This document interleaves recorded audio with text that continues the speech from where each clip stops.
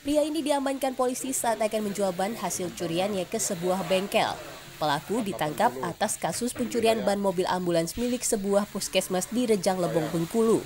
Pelaku beralasan nekat mencuri ban ambulan karena dikarenakan kebutuhan ekonomi. Kami mendapatkan informasi dari masyarakat bahwa ban mobil ini mau dia jual di salah satu toko ban di wilayah Kepahyang.